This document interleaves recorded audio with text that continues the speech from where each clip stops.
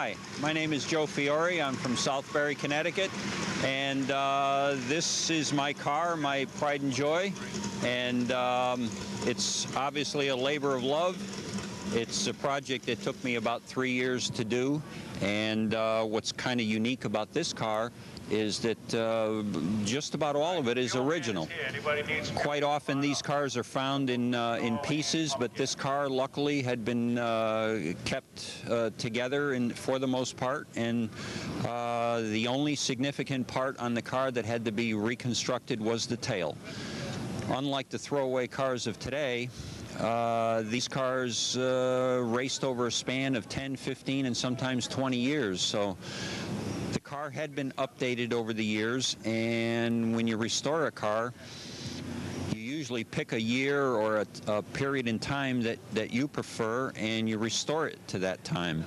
And what I've done here is I chose 1963 because Parnelli Jones won the 563, although not in this car.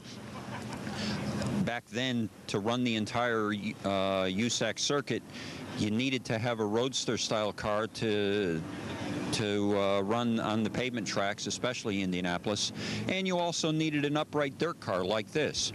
And this was Parnelli's car that he drove on all the dirt tracks, as well as some of the pavement tracks.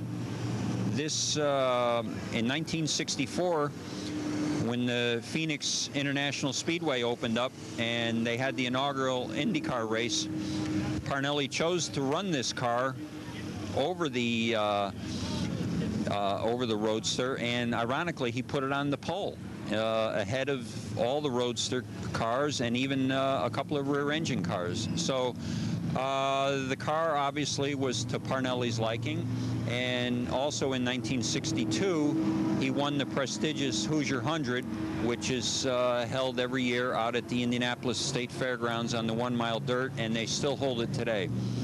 Uh, some of the other drivers uh, over the period were uh, Jud Larson, uh, Jim Hurtubise, and actually this car had two identities. It was well known as the Agajanian car, but in the late 60s uh, became the uh, well-known Patrick Petroleum car, which Johnny Rutherford drove for years.